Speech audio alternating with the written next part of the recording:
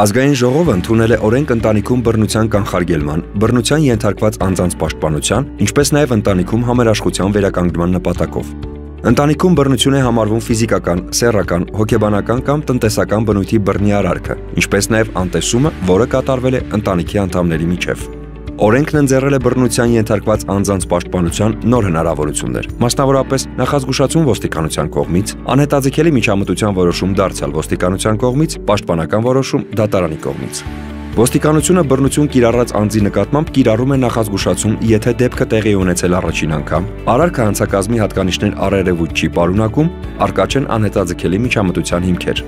Անհետաձգելի միջամտության որոշում ոստիկանությունը կայացնում է, եթե ընտանիքի մեկ անդամը մյուսի նկատմամբ կիրառել է բռնություն, արկա է հիմնավոր ենթադրություն բռնության կրկնման կամ շարունակման անմիջականորեն սպառնացող վտանգի մասին։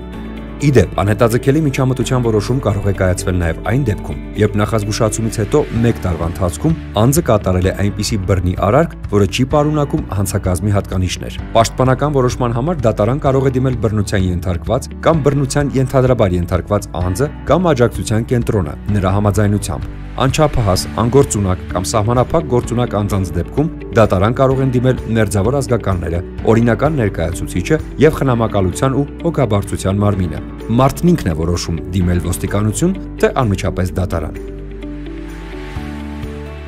Ընտանիքում բռնության դեմ պայքարին աջակցելը մարդու իրավունքների պաշտպանի աշխատանքի կարևոր ուղղություններից է։ Պաշտպանի աջակցությունը ստանալու նպատակով կարող եք զանգահարել թեժ գծի շուրջօրյա 116 հեռախոսահամարով կամ այցելել ինչպես Երևանի, այնպես էլ Շիրակի, Գեղարքունիքի, Սյունիքի ստորաբաժանումներ։